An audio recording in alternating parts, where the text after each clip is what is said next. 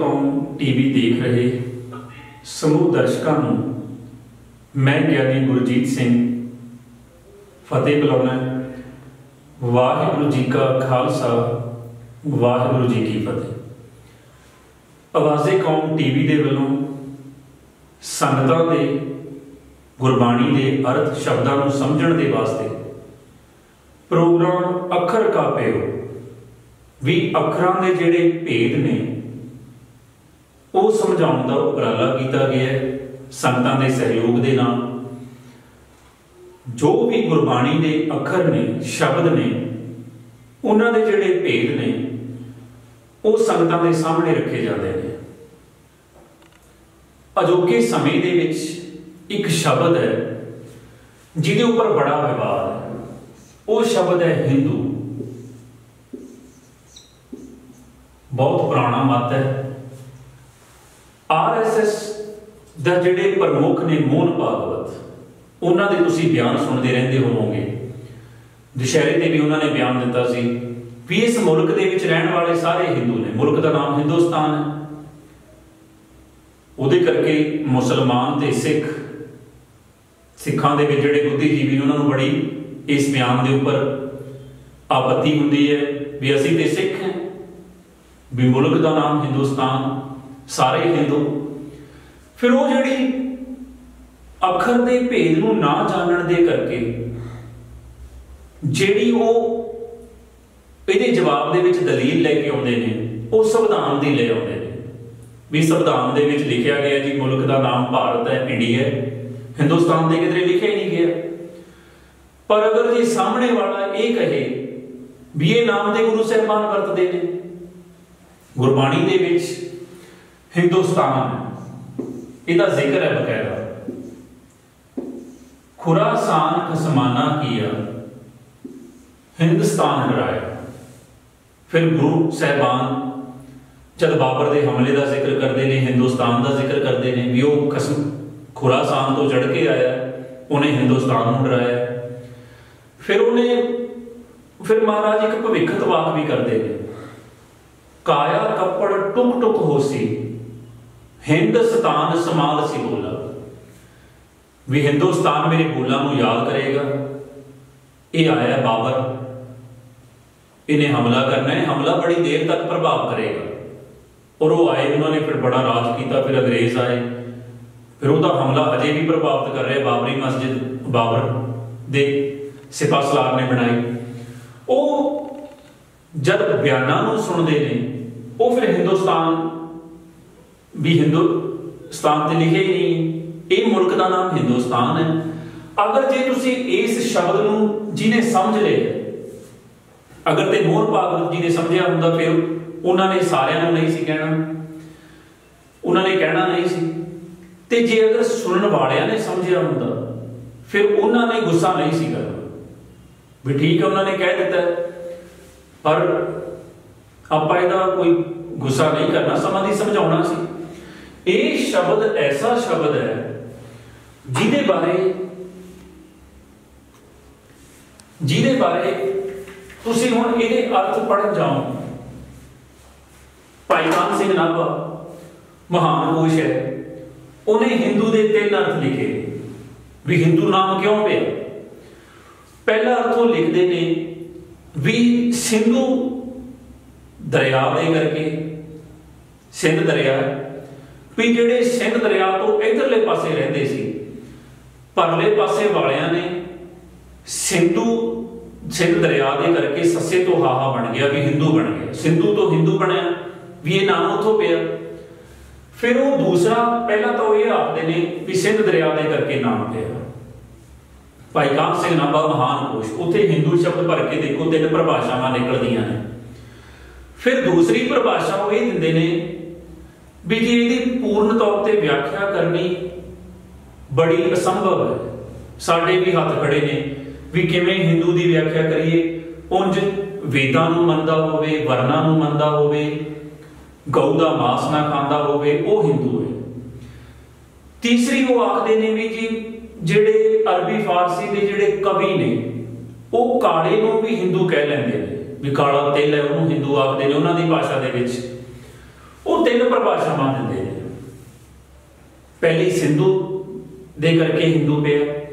ਦੂਜੀ ਜਿਹੜਾ ਵਰਨਾ ਨੂੰ ਮੰਨਦਾ ਹੋਵੇ, ਜਿਹੜਾ ਗਊ ਦਾ ਮਾਸ ਨਾ ਖਾਂਦਾ ਹੋਵੇ, ਤੀਜੀ ਫਾਰਸੀਆਂ ਦੇ ਕਵੀ ਨੇ, ਉਹਨਾਂ ਨੇ ਜਿਹੜੇ ਨਾਮ ਰੱਖੇ ਉਹਦੇ ਕਰਕੇ ਹਿੰਦੂ ਹੈ ਪਰ ਅਗਰ ਤੁਸੀਂ ਇਹਦੀ ਹੁਣ ਗੁਰਬਾਣੀ ਦੇ ਵਿੱਚ ਇਹਦਾ ਬੜਾ ਜ਼ਿਕਰ ਹੈ, ਹਿੰਦੂ ਦਾ, ਉਥੋਂ ਜੇ ਇਹਦੇ ਤੁਸੀਂ ਅਰਥਾਂ ਨੂੰ ਸਮਝੋ ਵੀ ਇਹਦੇ ਭੇਦ ਨੂੰ ਬੁੱਝੋ ਹਿੰਦੂ ਉਹ ਹੈ ਹਿੰਦੂ ਪੂਜੈ ਦੇਹੁਰਾ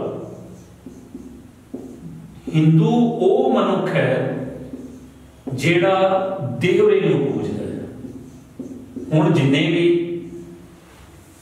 24 ਅਵਤਾਰ ਨੇ, ਰਾਮਚੰਦਰ ਜੀ ਨੇ, ਕ੍ਰਿਸ਼ਨ ਜੀ ਨੇ, ਜਾਂ ਜਿੰਨੇ ਵੀ ਭਗਵਾਨ ਨੇ, ਉਹਨਾਂ ਦੀ ਮੂਰਤੀ ਬਣਾ ਕਰਕੇ, ਦੇਹ ਬਣਾ ਕਰਕੇ, ਹੁਣ ਜਿਵੇਂ ਤੁਸੀਂ ਦੇਖਦੇ ਹੋ ਵੀ ਗਣੇਸ਼ ਚਤੁਰਥੀ ਹੈ ਤਾਂ ਗਣੇਸ਼ ਜੀ ਦੀ ਮੂਰਤੀ ਸਥਾਪਨ ਕੀਤੀ ਜਾਂਦੀ ਹੈ। ਉਹਦੀ ਬਕਾਇਦਾ ਪੂਜਾ ਕੀਤੀ ਜਾਂਦੀ ਹੈ। ਫਿਰ ਬਾਅਦ ਦੇ ਵਿੱਚ ਵਿਸਰਜਨ ਕੀਤਾ ਜਾਂਦਾ ਹੈ। ਮੰਦਰਾਂ ਦੇ ਵਿੱਚ ਜਾਓ। ਉਹ ਉੱਥੇ ਤੁਹਾਨੂੰ ਰਾਮਚੰਦਰ ਜੀ ਦੀਆਂ, ਕ੍ਰਿਸ਼ਨ ਜੀ ਦੀਆਂ, ਸ਼ਿਵ ਜੀ ਦੀਆਂ, ਉੱਥੇ ਉਹਨਾਂ ਦੀ ਦੇਹ ਦੀਆਂ ਮੂਰਤੀਆਂ ਬਣੀਆਂ ਹੋਈਆਂ ਨੇ।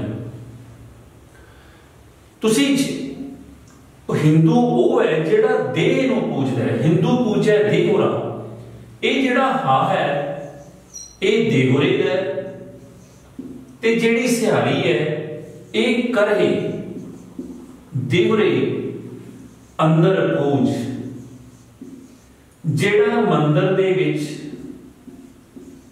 ਜਾ ਕੇ ਆਪਣੇ ਇਸ਼ਟ ਦੀ ਮੂਰਤੀ ਦੀ ਪੂਜਾ ਕਰਦਾ ਹੈ ਫੁੱਲ ਚੜਾਉਂਦਾ ਹੈ, ਮੱਥਾ ਟੇਕਦਾ ਹੈ, ਉਹ ਮਨੁੱਖ ਹਿੰਦੂ ਹੈ।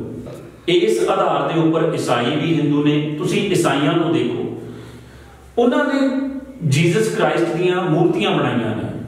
ਚਰਚ ਦੇ ਵਿੱਚ ਜਾਵੇ ਮਨੁੱਖ, ਬੜੀ ਲੰਬੀ ਮੂਰਤੀ ਬਣੀ ਹੁੰਦੀ ਹੈ ਉਹਦੇ ਸਾਹਮਣੇ ਉਹ ਪੂਜਾ ਕਰਦੇ ਨੇ, ਪ੍ਰੇਅਰ ਕਰਦੇ ਨੇ। ਬੋਧੀਆਂ ਦੇ ਵਿੱਚ ਵੀ ਮੂਰਤੀ ਬਣੀ ਹੈ ਮਹਾਤਮਾ ਬੁੱਧ ਦੀ। ਚਾਹੇ ਗਿਆ ਦੇ ਵਿੱਚ ਜਾਓ, ਥਾਈਲੈਂਡ ਦੇ ਵਿੱਚ ਜਾਂ ਜਿੱਥੇ ਵੀ ਬੋਧ ਮਤ ਹੈ ਬੋਧ ਮੰਦਰ ਹੈ, ਸਾਰੇ ਕਿਤੇ ਮਹਾਤਮਾ ਬੁੱਧ ਦੀ ਮੂਰਤੀ ਬਣੀ ਹੋਵੇਗੀ ਜੈਨੀਆਂ ਦੇ ਵਿੱਚ ਵੀ ਜਿੰਨੇ ਜੈਨ ਮਤ ਦੇ ਮੰਦਰ ਨੇ, ਲਾਲ ਕਿਲੇ ਦੇ ਸਾਹਮਣੇ ਵੀ ਹੈ, ਉੱਥੇ ਵੀ ਮੂਰਤੀਆਂ ਬਣੀਆਂ ਨੇ।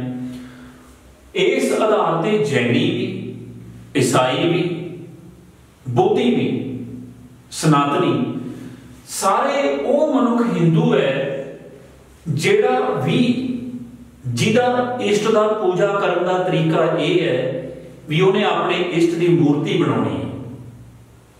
ਫਿਰ ਇਹ ਜਿਸ ਮਨੁੱਖ ਨੇ ਹੁਣ ਜਿਹੜੇ ਮੁਸਲਮਾਨ ਨੇ, ਉਹ ਮੁਹੰਮਦ ਸਾਹਿਬ ਦੀ ਮੂਰਤੀ ਨਹੀਂ ਬਣਾਉਂਦੇ, ਕਿਸੇ ਮਸਜਿਦ ਦੇ ਵਿੱਚ ਉਹਨਾਂ ਦੇ ਪੂਜਾ ਕਰਨ ਦਾ ਤਰੀਕਾ, ਇਬਾਦਤ ਕਰਨ ਦਾ ਤਰੀਕਾ ਵੱਖਰਾ ਹੈ, ਮਸਜਿਦ ਦੇ ਵਿੱਚ ਕੋਈ ਮੂਰਤੀ ਨਹੀਂ ਹੋਵੇਗੀ। ਸਿੱਖਾਂ ਦੇ ਵਿੱਚ ਗੁਰੂ ਗ੍ਰੰਥ ਸਾਹਿਬ ਮਹਾਰਾਜ ਦਾ ਪ੍ਰਕਾਸ਼ ਹੈ। ਗੁਰਦੁਆਰਿਆਂ ਦੇ ਵਿੱਚ। ਉੱਥੇ ਵੀ ਤੁਹਾਨੂੰ ਮੂਰਤੀ ਨਹੀਂ ਮਿਲੇਗੀ। ਹਿੰਦੂ ਸ਼ਬਦ ਦੇ ਅਰਥ ਨੇ ਕਰਹੇ ਦੇਹੁਰੇ ਅੰਦਰ ਪੂਜ। ਇਹਦਾ ਗੁਰਬਾਣੀ ਦੇ ਵਿੱਚ ਬਾਰ-ਬਾਰ ਜ਼ਿਕਰ ਹੈ। ਬੁੱਤ ਪੂਜ ਪੂਜ। ਹਿੰਦੂ ਹੋਏ ਕਬੀਰ ਜੀ ਜ਼ਿਕਰ ਕਰਦੇ ਨੇ, ਨਾਮਦੇਵ ਜੀ ਜ਼ਿਕਰ ਕਰਦੇ ਨੇ। ਹੁਣ ਜਿਸ ਜੇ ਇਸ ਤਰ੍ਹਾਂ ਦੇ ਨਾਲ ਇਸ ਸ਼ਬਦ ਨੂੰ ਸਮਝਿਆ ਫਿਰ ਪਤਾ ਚੱਲੇਗਾ ਕੋਈ ਕਿਤਨਾ ਵੀ ਕਹੇ। ਹਿੰਦੂ ਨੇ, ਮੁਸਲਮਾਨ ਨੇ, ਸਿੱਖ ਨੇ। ਔਰ ਸਿੱਖ ਉਸ ਦਿਨ ਉਦੋਂ ਹਿੰਦੂ ਹੁੰਦਾ ਵੀ ਉਸ ਤਰੀਕੇ ਨਾਲ ਜੇ ਉਹ ਮੂਰਤੀ ਬਣਾਵੇ ਤੇ ਜਾਂ ਤਸਵੀਰ ਦੇ ਸਾਹਮਣੇ ਮੱਥਾ ਟੇਕੇ। ਅਗਰ ਗੁਰੂ ਗ੍ਰੰਥ ਸਾਹਿਬ ਦੇ ਸਾਹਮਣੇ ਮੱਥਾ ਟੇਕ ਰਿਹਾ ਹੈ, ਫਿਰ ਉਹਦਾ ਤਰੀਕਾ ਵੱਖਰਾ ਹੈ, ਸ਼ਬਦ ਦੇ ਸਾਹਮਣੇ ਮੱਥਾ ਟੇਕ ਰਿਹਾ ਹੈ। ਜਾਂ ਮੂਰਤੀ ਬਣਾਵੇ। ਗੁਰਦੁਆਰਾ ਸਾਹਿਬ ਦੇ ਵਿੱਚ, ਜਿੱਥੇ ਗੁਰੂ ਗ੍ਰੰਥ ਸਾਹਿਬ ਦਾ ਪ੍ਰਕਾਸ਼ ਹੈ, ਅਗਰ ਮੂਰਤੀ ਬਣਾਈ ਜਾਏ, ਫਿਰ ਸਿੱਖ ਵੀ ਉਸੇ ਕੈਟਾਗਰੀ 'ਚ ਆਏ, ਉਸੇ ਸ਼੍ਰੇਣੀ ਦੇ ਵਿੱਚ ਆਏਗਾ। ਇਹਦਾ ਹੀ ਇਬਾਦਤ ਦਾ ਤਰੀਕਾ ਵੀ ਉਹ ਹੋਵੇਗਾ। ਅਗਰ ਇਹ ਗੁਰੂ ਗ੍ਰੰਥ ਸਾਹਿਬ ਨੂੰ ਮੰਨ ਰਿਹਾ ਇਹਦਾ ਵੱਖਰਾ ਤਿੰਨ ਹੀ ਸ਼੍ਰੇਣੀਆਂ ਨੇ, ਮੁਸਲਮਾਨ ਨੇ, ਸਿੱਖ ਨੇ, ਹਿੰਦੂ ਨੇ। ਹਿੰਦੂ ਇਸ ਤਰ੍ਹਾਂ ਦੇ ਨਾਲ ਪੂਜਾ ਕਰਦੇ ਨੇ, ਸਿੱਖ ਸ਼ਬਦ ਨੂੰ ਮੱਥਾ ਟੇਕਦੇ ਨੇ, ਮੁਸਲਮਾਨ ਮਸਜਿਦ ਦੇ ਵਿੱਚ ਜਾਂਦੇ ਨੇ। ਨਮਾਜ਼ ਪੜ੍ਹਦੇ। ਨੇ ਹਿੰਦੂ ਸ਼ਬਦ ਇਹਦੇ ਅਰਥ ਨੇ ਕਰੇ ਦੇਹਰੇ ਅੰਦਰ ਪੂਜ।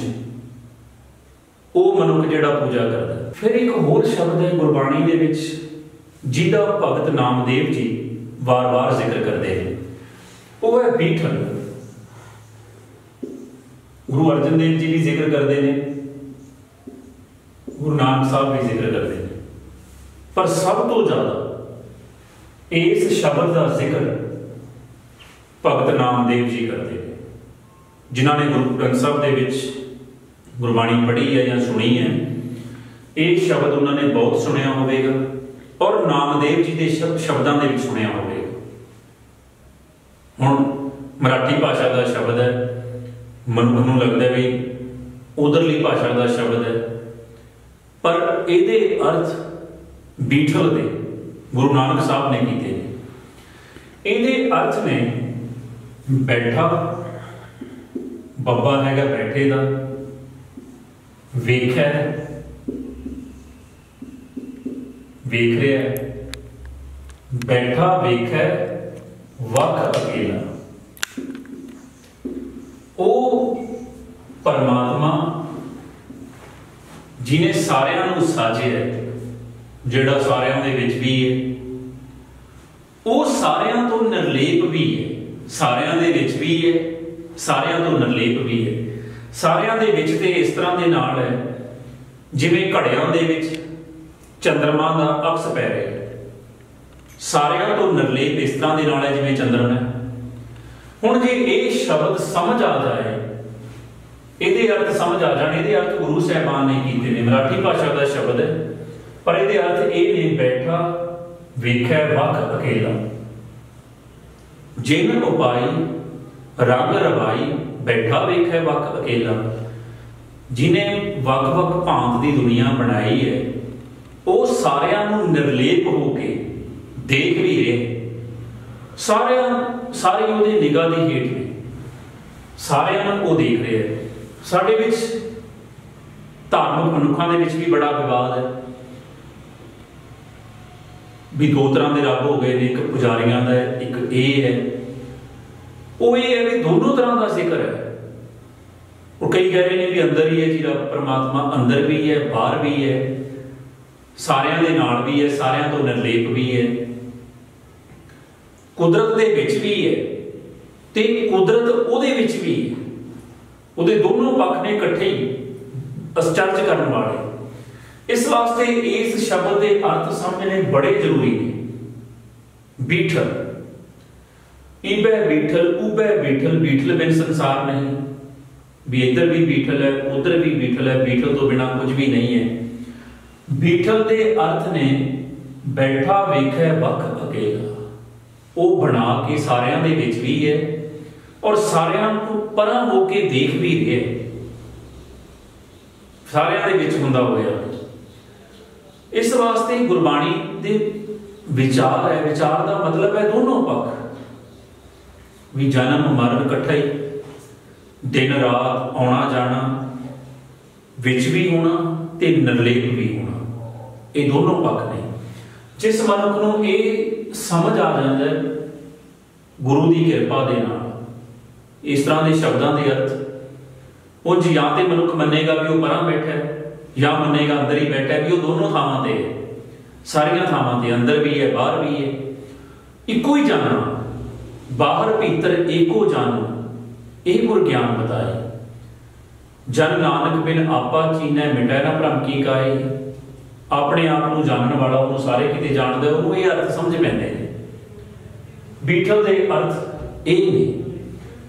ਫਿਰ ਗੁਰਬਾਣੀ ਦਾ ਸ਼ਬਦ ਹੈ, ਆਸਾ ਕੀ ਬਾਰ ਦਾ।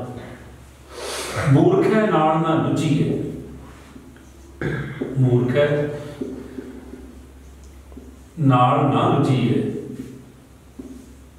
ਇਸ ਤਰ੍ਹਾਂ ਦੇ ਨਾਲ ਹੈ। ਔਰ ਇਹ ਐਸੀ ਵਾਰ ਹੈ ਜਿਹਦਾ ਕੀਰਤਨ ਰੋਜ਼ ਹੈ। ਮਨੁੱਖਾਂ ਨੂੰ ਕੰਠ ਹੈ ਪੰਕਤੀਆਂ ਤੇ ਵੈਸੀ ਕੰਠ ਹੁੰਦੀਆਂ ਨੇ ਰਾਗੀ ਸਹਿਬਾਨਾਂ ਤੋਂ ਵਾਰ-ਵਾਰ ਸੁਣਦੇ ਨੇ। ਔਰ ਲੁਜੀਏ ਦੇ ਅਰਥ, ਅਗਰ ਉਹ ਪੜ੍ਹੇ ਪ੍ਰੋਫੈਸਰ ਸਾਹਿਬ ਸਿੰਘ ਦਾ ਸਟੀਕ ਗੁਰੂ ਗੁਰੂ ਘਰਾਂ ਦੇ ਵਿੱਚ ਹੈ। ਬਹੁਤ ਪੜ੍ਹਦੇ ਨੇ, ਨਵੀਨ ਹੈ, ਫਿਰ ਉਸ ਤੋਂ ਬਾਅਦ ਗਿਆਨੀ ਹਰਬੰਸ ਸਿੰਘ ਦਾ ਭਾਈ ਕਾਨ ਸਿੰਘ ਦਾ ਮਹਾਨ ਕੋਸ਼ ਵੀ ਹੈ। ਉਹ ਇਹਦੇ ਅਰਥ ਕਰਦੇ ਨੇ ਝਗੜਾ। ਇਹਦੇ ਅਰਥੋਂ ਝਗੜਾ ਕਰਦੇ ਨੇ। ਵੀ ਲੁਜੀਆ ਦੇ ਅਰਥ ਨੇ ਝਗੜਾ। ਅਰਥ ਪੜ੍ਹਦੇ ਮਨੁੱਖ ਨੇ, ਮਨੁੱਖ ਸਵਾਲ ਕਰ ਸਕਦਾ ਹੈ। ਵੀ ਬੜੇ ਮਨੁੱਖ ਲੜਦੇ ਨੇ। ਵੀ ਅਸੀਂ ਤੇ ਕਦੇ ਕਹਿੰਦੇ ਨਹੀਂ ਨੇ ਵੀ ਤੂੰ ਲੁਜੀ ਹੈ ਕਿਉਂ ਲੁਜ ਰਿਹਾ ਇਹਦੇ ਨਾਲ? ਅਸੀਂ ਤੇ ਝਗੜਾ, ਝਗੜੇ ਨੂੰ ਲੁਜੀ ਹੈ ਕਹਿੰਦੇ ਹੀ ਨਹੀਂ। ਨੇ ਇਹਦੇ ਜਿਹੜੇ ਅਰਥ ਨੇ, ਉਹ ਅਸੀਂ ਵਰਤਦੇ ਹਾਂ ਆਪਣੀ ਆਮ ਬੋਲਚਾਲ ਦੇ ਵਿੱਚ। ਇਹ ਸ਼ਬਦ ਸੰਖੇਪ ਹੈ ਪੂਰਾ ਸ਼ਬਦ ਜੇ ਅਗਰ ਅਸੀਂ ਇਹਦੇ ਮੂਰੇ ਕੂੜਾ ਲਾ ਦਈਏ, ਸਮਝਣ ਵਾਸਤੇ, ਗੁਰੂ ਗ੍ਰੰਥ ਸਾਹਿਬ ਦੇ ਵਿੱਚ ਨਹੀਂ ਲਗਾ ਸਕਦੇ ਤੁਸੀਂ। ਤੁਹਾਨੂੰ ਪਤਾ ਚੱਲੇਗਾ ਵੀ ਅਸੀਂ ਇਸ ਤਰੀਕੇ ਦੇ ਨਾਲ ਪੜ੍ਹਦੇ ਹਾਂ। ਸੁਣਦੇ ਹਾਂ, ਬੋਲਦੇ ਹਾਂ। ਅਸੀਂ ਕਹਿ ਰਹੇ ਹਾਂ, ਕਹਿੰਦੇ ਹਾਂ ਵੀ ਯਾਰ ਛਾੜੇ ਨੂੰ ਤੂੰ ਕਿਉਂ ਇਹਦੇ ਨਾਲ ਉਲਝ ਰਿਹਾ ਬਿਨਾ ਮਤਲਬ ਤੋਂ? ਅਸੀਂ ਉਲਝੀਏ ਕਹਿੰਦੇ ਹਾਂ। ਗੁਰੂ ਸਾਹਿਬਾਨ, ਉਲਝੀਏ ਅਰਥ ਇਹੀ ਬਣੇਗਾ। ਝਗੜਾ ਠੀਕ ਹੈ, ਇਹਦਾ ਭਾਵ ਰੂਪ ਇਹੀ ਹੈ। ਪਰ ਜੇ ਪੂਰਨ ਤੌਰ ਤੇ ਸਮਝਣਾ ਵੀ ਕਹਿੰਦੇ ਨੇ ਵੀ ਬਿਲਕੁਲ ਐਸ ਇਟ ਇਜ਼ ਵੀ ਜਿਵੇਂ ਲਿਖਿਆ ਉਵੇਂ ਦਾ ਉਵੇਂ ਸਮਝਣਾ ਫਿਰ ਸਾਨੂੰ ਇਹਦੇ ਮੂਰੇ ਕੂੜਾ ਲਾਉਣਾ ਪਵੇਗਾ ਮੂਰਖ ਸਿਓ ਮੂਰਖ ਹੈ ਨਾਲ ਨਾ ਲੁਝੀਐ ਵੀ ਗੁਰੂ ਸਾਹਿਬ ਇਹ ਸਮਝਾ ਰਹੇ ਨੇ ਵੀ ਜਿਹੜਾ ਮੂਰਖ ਮਨੁੱਖ ਹੈ, ਉਹਦੇ ਨਾਲ ਕੋਈ ਵੀ ਉਲਝਣ ਦਾ ਫਾਇਦਾ ਨਹੀਂ। ਹੈ ਉਹ ਤੁਹਾਡੇ ਨਾਲ ਵੀ ਉਲਝੇ, ਤਾਂ ਵੀ ਤੁਸੀਂ ਉਹਦੇ ਤੋਂ ਪਾਸਾ ਹਟੋ ਉਹਦੇ ਨਾਲ ਉਲਝਣਾ ਨਹੀਂ ਚਾਹੀਦਾ। ਤੇ ਲੰਗ ਰਾਗ ਦੇ ਵਿੱਚ ਇੱਕ ਸ਼ਬਦ ਹੈ, ਆਫੂ। ਇਸ ਤਰ੍ਹਾਂ ਦੇ ਨਾਲ ਉਹਦਾ ਰੂਪ ਹੈ, ਆਕਾਰ ਹੈ। ਔਰ ਸ਼ਬਦ ਦੀਆਂ ਪੂਰੀਆਂ ਪੰਕਤੀਆਂ ਨੇ, ਗੁਣ ਹੈ ਉਸਕੇ ਸਗਲ ਆਫੂ, ਤੇਰੇ ਜਨ ਦੇਖੇ ਦੀਦਾਰ। ਵੀ ਜਿਹੜਾ ਵੀ ਮਨੁੱਖ ਤੇਰੇ ਭਗਤਾਂ ਨੂੰ, ਸੇਵਕਾਂ ਨੂੰ ਦਾਸਾਂ ਨੂੰ ਦੇਖਦਾ ਹੈ ਉਹਦੇ ਜਿਹੜੇ ਕੀਤੇ ਹੋਏ ਗੁਨਾਹ ਨੇ, ਉਹ ਆਫੂ ਹੋ ਜਾਂਦੇ ਨੇ। ਹੁਣ ਵੀ ਮਨੁੱਖ ਆਫੂ ਸ਼ਬਦ ਨੂੰ ਬੜਾ ਵੱਖਰਾ ਲੱਗਦਾ ਹੈ। ਉਹਨੂੰ ਕਿਉਂਕਿ ਅਸੀਂ ਤੇ ਆਮ ਬੋਲਚਾਲ ਦੇ ਵਿੱਚ ਇਹ ਵਰਤਦੇ ਨਹੀਂ ਹੈ, ਜੋ ਗੁਰਬਾਣੀ ਦੇ ਵਿੱਚ ਹੈ। ਉਹਨੂੰ ਲੱਗਦਾ ਵੀ ਸ਼ਾਇਦ ਉਸ ਸਮੇਂ ਦੀ ਭਾਸ਼ਾ ਹੋਵੇਗੀ ਜਾਂ ਵੱਖਰੀ ਕੋਈ ਗੱਲਬਾਤ ਹੈ। ਇੰਨੇ ਸਰਲ ਨੇ, ਇਹ ਨਹੀਂ ਕਿ ਗੁਰਬਾਣੀ ਔਖੀ ਹੈ। ਪਰ ਉਹਦੀ ਲਿਖਣ ਦੀ ਸ਼ੈਲੀ ਸੰਖੇਪ ਹੈ। ਇਸ ਕਰਕੇ ਮਨੁੱਖ ਕਾਲੀ ਦੇ ਨਾਲ ਪੜਦਾ ਹੈ। ਸ਼ਬਦ ਦੇ ਵਿੱਚ ਨਹੀਂ ਉਤਰਦਾ। ਤੇ ਉਹਨੂੰ ਲੱਗਦਾ ਵੀ ਇਹ ਵੱਖਰੇ ਨੇ। ਉਹ ਯਾਦ ਕਰ ਲੈਂਦਾ ਅਗਰ ਇਹਦੇ ਮੂਰੇ ਮੰਮਾ ਲਗਾ ਦਈਏ, ਸਮਝਣ ਵਾਸਤੇ, ਤੇ ਇਹਦੇ ਨਾਲ ਉਹ ਸ਼ਬਦ ਬਣ ਜਾਂਦਾ ਜੋ ਅਸੀਂ ਵਰਤਦੇ ਹਾਂ। ਅਸੀਂ ਵਰਤਦੇ ਹਾਂ ਵੀ ਕਿਸੇ ਮਨੁੱਖ ਨੇ ਗੁਨਾਹ ਕੀਤੇ, ਗਲਤ ਕਰਮ ਕੀਤੇ, ਉਹਦੀ ਫਿਰ ਮਾਫੀ। ਇਹ ਸ਼ਬਦ ਹੈ ਗੁਣ ਹੈ ਗੁਣ ਹੈ ਗੁਣ ਹੈ ਵੀ ਗੁਨਾਹ ਦਾ। ਉਸ ਮਨੁੱਖ ਦੇ ਸਾਰੇ ਗੁਨਾਹ ਮਾਫ ਹੋ ਜਾਂਦੇ ਨੇ, ਜਿਹੜਾ ਮਨੁੱਖ ਤੇਰੇ ਸੇਵਕਾਂ ਦੇ, ਪਿਆਰਿਆਂ ਦੇ ਜਿਹਨੂੰ ਦੀਦਾਰ ਹੋ ਜਾਣ ਵਾਕਈ ਪਿਆਰਾ ਹੋਵੇ। ਔਰ ਉਹ ਮਨੁੱਖ ਜਿਨੇ ਗੁਨਾਹ ਕੀਤੇ ਨੇ, ਉਹਨੂੰ ਕਿਧਰੇ ਕੋਈ ਉਹਦਾ ਪੂਰਬਲਾ ਸੰਜੋਗ ਪ੍ਰਗਟੇ? ਉਹਦੇ ਅੰਦਰ ਦੀ ਅਰਦਾਸ, ਪ੍ਰਗਟੇ ਵੀ ਸਹੀ ਪਿਆਰੇ ਸੰਤ ਮੇਲ, ਜਿਨ੍ਹਾਂ ਮਿਲਿਆ ਤੇਰਾ ਨਾਮ ਚੇਤਾਵੇ ਬੜਿਆਂ ਦੇ ਬਾਰੇ ਜ਼ਿਕਰ ਹੈ। ਗੁਰਬਾਣੀ ਦੇ ਵਿੱਚ, ਧਾਰਮਿਕ ਗ੍ਰੰਥਾਂ ਦੇ ਵਿੱਚ, ਜਿਨ੍ਹਾਂ ਦੇ ਗੁਨਾਹ ਮਾਫ ਹੋਏ ਨੇ। ਇਹ ਜ਼ਿਕਰ ਹੈ ਮਾਫ। ਵੀ ਉਸ ਮਨੁੱਖ ਦੇ ਸਾਰੇ ਗੁਨਾਹ ਮਾਫ ਹੋ ਜਾਂਦੇ ਨੇ।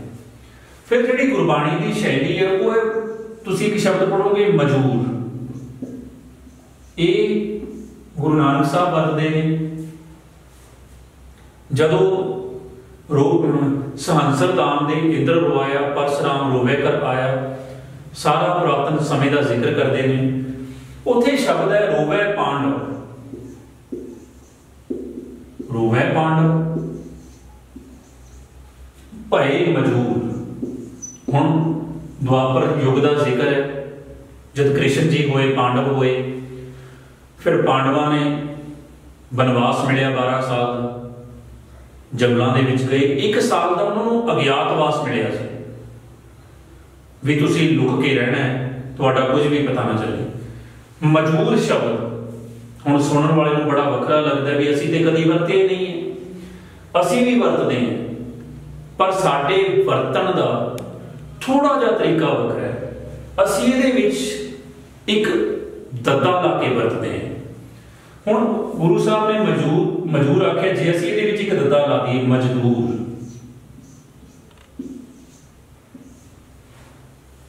ਆਮ ਮਨੁੱਖ ਕਹਿੰਦਾ ਵੀ ਮੈਂ ਮਜਦੂਰ ਲੈ ਕੇ ਆਇਆ, ਕੰਮਕਾਰ ਕਰਨ ਵਾਸਤੇ, ਘਰ ਬਣਾਉਂਦਾ, ਹੋਰ ਕੰਮਕਾਰ ਕਰਾਉਂਦਾ, ਵੀ ਮਜ਼ਦੂਰੀ ਦੇਣੀ ਹੈ।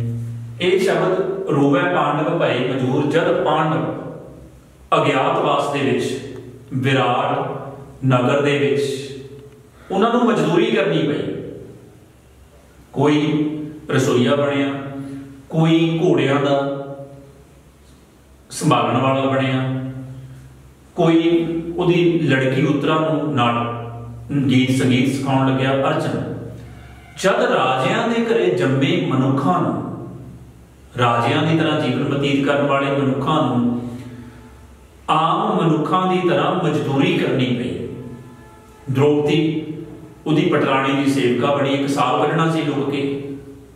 ਜੰਗਲ ਦੇ ਵਿੱਚ ਕੱਢੇ 12 ਸਾਲ, ਫਿਰ ਇੱਕ ਸਾਲ ਅਗਿਆਤ ਵਾਸਤਾ ਕੱਢਿਆ। ਉੱਥੇ ਸ਼ਬਦ ਹੈ ਮਜੂਰ ਅਸੀਂ ਵਰਤਦੇ ਹਾਂ ਮਜ਼ਦੂਰ। ਵੀ ਇੱਕ ਸ਼ਬਦ ਦੇ ਨਾਲ, ਦੱਦਾ ਲਾਉਣ ਦੇ ਨਾਲ, ਜਿਹੜਾ ਸਾਰਾ ਸ਼ਬਦ ਹੈ, ਉਹ ਗੁਰਬਾਣੀ ਦਾ ਖੁੱਲ ਜਾਂਦਾ ਹੈ। ਉਹਦੇ ਸਾਰੇ ਅਰਥ ਭਾਵ ਉਹ ਸਮਝ ਆ ਜਾਂਦੇ ਨੇ। ਫਿਰ ਇੱਕ ਭਾਈ ਗੁਰਦਾਸ ਜੀ ਦੀਆਂ ਵਾਰਾਂ, ਇਹਦੇ ਨਾਲ ਹੀ ਮਿਲਦਾ ਜੁਲਦਾ ਸ਼ਬਦ ਹੈ ਆਂਦੀ। ਆਂਦੀ। ਭਾਈ ਗੁਰਦਾਸ ਜੀ ਦੀ ਵਾਰ ਦੇ ਵਿੱਚ ਕਿਉਂਕਿ ਪਾਂਡਵਾਂ ਦਾ ਜ਼ਿਕਰ ਹੈ ਗੁਰਬਾਣੀ ਦੇ ਵਿੱਚ ਫਿਰ ਭਾਈ ਗੁਰਦਾਸ ਜੀ ਦੀਆਂ ਵਾਰਾਂ ਨੇ, ਉੱਥੇ ਵੀ ਜ਼ਿਕਰ ਹੈ। ਉਹ ਹਸਤਨਾਪੁਰ ਦਾ ਜ਼ਿਕਰ ਕਰਦੇ ਨੇ। ਘਟਨਾਵਾਂ, ਜਦ ਉਹਨਾਂ ਨੇ ਜੂਏ ਦੇ ਵਿੱਚ ਅੰਦਰ ਸਭਾ ਦੁਸ਼ਾਸਨ ਮੱਥੇ ਵਾਲ ਦ੍ਰੋਪਤੀ ਆਂਦੀ। ਫਿਰ ਦਰਯੋਧਨ ਨੇ ਜਿੱਤਿਆ, ਉਹ ਆਪਣੇ ਭਰਾ ਦੁਸ਼ਾਸਨ ਨੂੰ ਕਹਿੰਦਾ ਵੀ ਹੁਣ ਦ੍ਰੋਪਤੀ ਨੂੰ ਲੈ ਕੇ ਆ। ਭਾਈ ਗੁਰਦਾਸ ਜੀ ਜ਼ਿਕਰ ਕਰਦੇ ਨੇ ਆਂਦੀ ਦਾ। ਪੜਦੇ ਮਨੁੱਖ ਬਾਰਾਂ ਨੇ। ਰਾਗੀ ਸਿੰਘ ਗਾਇਨ ਕਰਦੇ ਨੇ ਦਰਬਾਰ ਸਾਹਿਬ ਦੇ ਵਿੱਚ ਕੰਠ ਨੇ ਮਨੁੱਖਾਂ ਨੂੰ। ਹੁਣ ਆਂਦੀ ਦਾ ਕੋਈ ਵੀ ਅਰਥ ਨਹੀਂ ਹੈ। ਜੇ ਤੁਸੀਂ ਸਿੱਧਾ ਅਰਥ ਲੱਭੋਗੇ, ਇਹਦੇ ਵਿੱਚ ਤੁਹਾਨੂੰ ਸਿਰਫ ਇੰਨਾ ਕਰਨ ਦੀ ਲੋੜ ਹੈ ਵੀ ਤੁਸੀਂ ਲੱਜੇ ਨੂੰ ਸਿਹਾਰੀ ਲਾ ਦਿਓ। ਬਸ ਬਾਕੀ ਉਹੀ ਜੋੜ ਦਿਓ। ਲਿਆਂਦੀ। ਇਹ ਤੁਹਾਨੂੰ ਆਪਣੇ ਅੰਦਰ ਇਹ ਕਰਨਾ ਪਏਗਾ। ਇਸ ਸ਼ਬਦ ਨੂੰ ਸਮਝਣ ਦੇ ਵਾਸਤੇ ਇਸ ਸ਼ਬਦ ਨੂੰ ਸਮਝਣ ਦੇ ਵਾਸਤੇ ਤੁਹਾਨੂੰ ਆਪਣੇ ਅੰਦਰ ਦਿੱਤਾ ਲਾਉਣਾ ਪਵੇਗਾ। ਇਸ ਸ਼ਬਦ ਨੂੰ ਸਮਝਣ ਦੇ ਵਾਸਤੇ ਲੱਲੇ ਨੂੰ ਸਿਹਾਰੀ ਲਾਉਣੀ ਪਵੇਗੀ। ਜੇ ਤੁਸੀਂ ਲੱਲੇ ਨੂੰ ਸਿਹਾਰੀ ਲਾਉਂਦੇ ਹੋ, ਸ਼ਬਦ ਬਣ ਜਾਂਦਾ ਹੈ ਲਿਆਂਦੀ। ਹੁਣ ਅਸੀਂ ਵਰਤਦੇ ਹਾਂ ਸ਼ਬਦ। ਇਹ ਮੈਂ ਆ ਚੀਜ਼ ਲਿਆਂਦੀ ਹੈ ਆ ਮੈਂ ਵਸਤੂ ਲਿਆਂਦੀ ਹੈ, ਮੋਟਰਸਾਈਕਲ ਲਿਆਂਦਾ ਹੈ, ਅਸੀਂ ਲਿਆਂਦਾ ਵਰਤਦੇ ਹਾਂ, ਲਿਆਂਦੀ ਵਰਤਦੇ ਹਾਂ। ਉੱਥੇ ਗੱਲੀ ਆਉਂਦੀ ਹੈ। ਉਹ ਭਾਈ ਗੁਰਦਾਸ ਜੀ ਲਿਖ ਰਹੇ ਨੇ, ਅੰਦਰ ਸਭਾ ਦੁਸਾਸਣ ਹੈ। ਮੱਥੇ ਵਾਲ ਦ੍ਰੋਪਤੀ ਆਂਦੀ ਵੀ ਲਿਆਂਦੀ। ਦੁਸਾਸਣ ਨੇ ਭਰੀ ਸਭਾ ਦੇ ਵਿੱਚ ਵਾਲਾਂ ਤੋਂ ਪਕੜ ਕੇ ਦ੍ਰੋਪਤੀ ਨੂੰ ਲਿਆਂਦਾ। ਗੁਰਬਾਣੀ ਗੁਰਬਾਣੀ ਦੇ ਸ਼ਬਦ ਇਸ ਤਰ੍ਹਾਂ ਦੇ ਨਾਲ ਵੀ ਥੋੜਾ ਜਿਹਾ ਤੁਸੀਂ ਗਹਿਰਾਈ ਦੇ ਨਾਲ ਟਿਕ ਕੇ ਇਹਨੂੰ ਕਹਿੰਦੇ ਨੇ ਅੱਖਰ ਦਾ ਭੇਦ। ਹੁਣ ਅੱਖਰ ਤੇ ਇਹੀ ਹੈ। ਇਹਦੇ ਅਗਰ ਭੇਤ ਨੂੰ ਜਾਣੋਗੇ, ਤੇ ਤੁਹਾਨੂੰ ਉਹਦੇ ਜਿਹੜੇ ਅਰਥ ਨੇ, ਉਹ ਦਿਸ ਜਾਣਗੇ। ਫਿਰ ਇੱਕ ਹੋਰ ਸ਼ਬਦ ਹੈ, ਸਿਕੰਦਰ।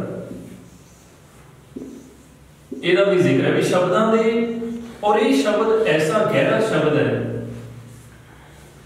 ਇਹਦੇ ਜੇ ਤੁਸੀਂ ਇਹਦੀ ਪੜੋਗੇ ਵੀ ਸਿਕੰਦਰ ਆਇਆ ਪੋਰਸ ਦੇ ਨਾਲ ਲੜਾਈ ਹੋਈ। ਇਹਦਾ ਨਾਮ ਸਿਕੰਦਰ ਨਹੀਂ ਹੈ। ਇਹਦਾ ਨਾਮ ਹੈ ਐਲੈਗਜ਼ੈਂਡਰ। ਇਹ ਉੱਥੇ ਜਨਮਿਆ, ਇੱਧਰ ਆਇਆ। ਇਹ ਨਾਮ ਸਾਡੇ ਮੁਲਕ ਦੇ ਲੋਕਾਂ ਦਾ ਦਿੱਤਾ ਹੋਇਆ ਵੀ ਜਿਹੜੇ ਬੜੇ ਗਹਿਰੇ ਮਨੁੱਖ ਸੀ, ਸਿਆਣੇ ਮਨੁੱਖ ਸੀ। ਨਾਮ ਤੇ ਉਹਦਾ ਅਲੈਗਜ਼ੈਂਡਰ ਹੈ, ਸਾਡੀ ਭਾਸ਼ਾ ਦਾ ਪਰ ਸਾਡੇ ਮਨੁੱਖਾਂ ਦਾ ਦਿੱਤਾ ਵੀ ਮਨੁੱਖ ਕਿੰਨੇ ਗਹਿਰੇ ਸੀ। ਉਹਨਾਂ ਨੇ ਅਲੈਗਜ਼ੈਂਡਰ ਨੂੰ ਪੰਜਾਬੀ ਦੇ ਵਿੱਚ ਜਾਂ ਹਿੰਦੀ ਦੇ ਵਿੱਚ, ਸੰਸਕ੍ਰਿਤ ਦੇ ਵਿੱਚ ਨਹੀਂ ਲਿਖਿਆ। ਵੀ ਜੀ ਆਇਆ, ਚਲੋ ਇਹਨੂੰ ਆਪਾਂ ਅਲੈਗਜ਼ੈਂਡਰ ਨੂੰ ਪੰਜਾਬੀ 'ਚ ਲਿਖ ਲਈਏ, ਸੰਸਕ੍ਰਿਤ 'ਚ ਲਿਖ ਲਈਏ। ਉਹਨਾਂ ਨੇ ਲਿਖਿਆ ਸਿਕੰਦਰ। ਸਿਕੰਦਰ ਦੇ ਅਰਥ ਨੇ, ਇਹਨੂੰ ਕਹਿੰਦੇ ਨੇ ਸਿਕੰਦਰ ਮਹਾਨ। Alexander the great. ਮਹਾਨ ਸਿਕੰਦਰ ਸਿਕੰਦਰ ਮਹਾਨ। ਕਈ ਮਹਾਨ ਨੂੰ ਪਿੱਛੇ ਲਾਉਂਦੇ ਨੇ, ਕਈ ਮੂਹਰੇ ਲਾਉਂਦੇ ਨੇ। ਇਹਦਾ ਅਰਥ ਹੈ ਸਿੱਖ ਅੰਦਰ।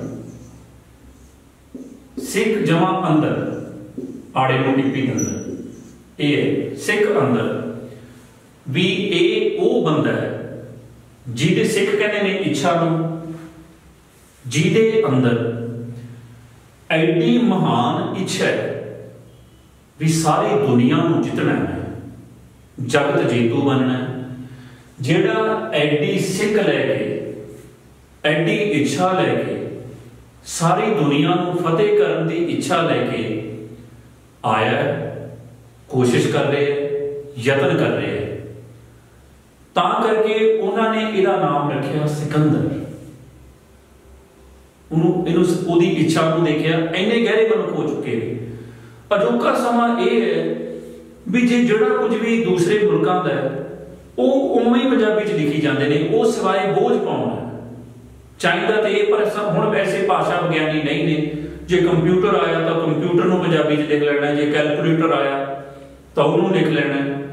ਵੀ ਉਹਦਾ ਆਪਣੇ ਤਰੀਕੇ ਦੇ ਨਾਲ, ਗਹਿਰੀ ਨਿਗਾਹ ਦੇ ਨਾਲ ਉਹਨੂੰ ਦੇਖਣਾ ਤੇ ਉਹਦਾ ਫਿਰ ਨਾਮ ਰੱਖਣਾ। ਅਗਰ ਇਸ ਤਰ੍ਹਾਂ ਦੇ ਨਾਲ ਮਨੁੱਖ ਕਰਦਾ ਹੈ, ਬੰਦੇ ਸੁਣਦੇ ਨੇ, ਜਿਹੜੇ ਦੂਸਰੇ ਬੰਦੇ ਨੇ, ਉਹਨਾਂ ਤੇ ਕੋਈ ਬੋਝ ਨਹੀਂ ਪੈਂਦਾ। ਇਹ ਜਿਹੜੇ ਸ਼ਬਦ ਬਿਲਕੁਲ ਐਜ਼ ਇਟ ਇਜ਼ ਉਵੇਂ ਰੱਖ ਲੈਣੇ ਨੇ, ਆਪਣੀ ਭਾਸ਼ਾ ਦੇ ਵਿੱਚ ਲਿਖ ਲੈਣੇ ਨੇ, ਇਹ ਕੈਂਸਰ ਦੀ ਤਰ੍ਹਾਂ ਨੇ, ਜਿਵੇਂ ਦੀ ਸੈੱਲ ਸਰੀਰ ਦੇ ਵਿੱਚ ਟੁੱਟ ਰਹੇ ਨੇ, ਗਲਤ ਟੁੱਟ ਜਾਏ। ਫਿਰ ਉਹ ਅਗਰ ਉਹਨੂੰ ਪੰਜਾਬੀ ਦੇ ਵਿੱਚ ਲਿਖ ਲਵੇ, ਉਹਦੇ ਨਾਲ ਉਹਨੂੰ ਸਮਝ ਨਹੀਂ ਪਏਗੀ। ਇੱਥੋਂ ਪਤਾ ਚੱਲ ਜਾਂਦਾ ਹੈ, ਮਹਾਨ ਸਿਕੰਦਰ। ਇੱਕ ਸ਼ਬਦ ਹੈ ਤਾਜ ਮਹਿਲ। ਅਗਰ ਤੁਸੀਂ ਦੇਖਣ ਵੀ ਜਾਓ, ਹੁਣ ਸਾਰੇ ਯਾਦ ਕਰ ਲੈਂਦੇ ਨੇ, ਤਾਜ ਮਹਿਲ ਤਾਜ ਮਹਿਲ। ਖੂਬਸੂਰਤ ਇਮਾਰਤ ਹੈ ਸ਼ਾਹਜਹਾਨ ਨੇ ਬਣਾਈ ਕਰੋੜਾਂ ਦੀ, ਬੜੇ ਸਾਲ ਲੱਗੇ। ਹੁਣ ਇਹ ਬਾਹਰਲੇ ਵੀ ਦੇਖਣ ਆਉਂਦੇ ਨੇ ਸਾਰੇ ਫੋਟੋਆਂ ਖਿਚਾਉਂਦੇ ਨੇ, ਦੇਖਣ ਜਾਂਦਾ ਉਹਨੂੰ ਕਾਗਰੇ ਦੇ ਵਿੱਚ। ਇਹ ਸ਼ਬਦ, ਇਹ ਸੰਖੇਪ ਹੈ ਤਾਜ ਮਹਿਲ ਇਹਦੇ ਮਗ, ਜੇ ਤੁਸੀਂ ਇਹਦੇ ਨਾਲ ਤੁਹਾਨੂੰ ਕੋਈ ਵੀ ਉਹਦੀ ਕਹਾਣੀ ਪਤਾ ਨਹੀਂ ਚੱਲਦੀ। ਜੇ ਇਹਦੇ ਮੂਰੇ ਤੁਸੀਂ ਦੋ ਅੱਖਰ ਦੋ ਅੱਖਰ ਲਾ ਦਿਓ, ਵੀ ਮੰਮੀ ਨੂੰ ਔਂਕੜ ਮੰਮਾ। ਫਿਰ ਪਤਾ ਚੱਲਦਾ ਵੀ ਮੁਮਤਾਜ਼ ਮਹਿਲ। ਮੁਮਤਾਜ਼ ਉਹਦੀ ਬੇਗਮ ਦਾ ਨਾਮ ਸੀ, ਜਿਹਦੀ ਯਾਦ ਦੇ ਵਿੱਚ ਸ਼ਾਹਜਹਾਨ ਨੇ ਲੰਬੇ 22 ਸਾਲ ਦੇ ਸਮੇਂ ਦੇ ਨਾਲ ਇਹਨੂੰ ਤਿਆਰ ਕਰਾਇਆ।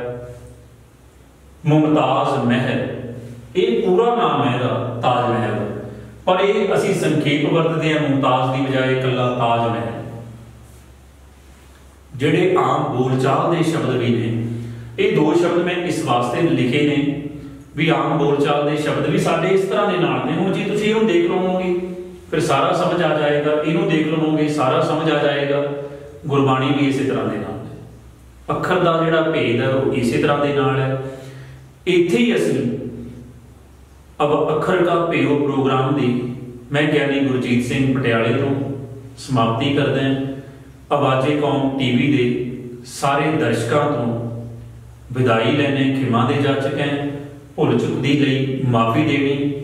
ਹਰ ਹਫ਼ਤੇ ਅਸੀਂ ਤੁਹਾਡੇ ਅੱਗੇ ਅੱਖਰ ਕਾ ਪਿਓ ਪ੍ਰੋਗਰਾਮ ਦੇ ਵਿੱਚ ਨਵੇਂ ਤੋਂ ਨਵੇਂ ਆਮ ਬੋਲਚਾਲ ਵਾਲੇ, ਗੁਰਮਤ ਵਾਲੇ ਸ਼ਬਦ ਉਹ ਲੈ ਕੇ ਆਉਂਦੇ ਰਹਾਂਗੇ। ਦਿਓ ਇਜਾਜ਼ਤ, ਬਲਾਓ ਫਤਿਹ। ਵਾਹਿਗੁਰੂ ਜੀ ਕਾ ਖਾਲਸਾ, ਵਾਹਿਗੁਰੂ ਜੀ ਕੀ ਫਤਿਹ।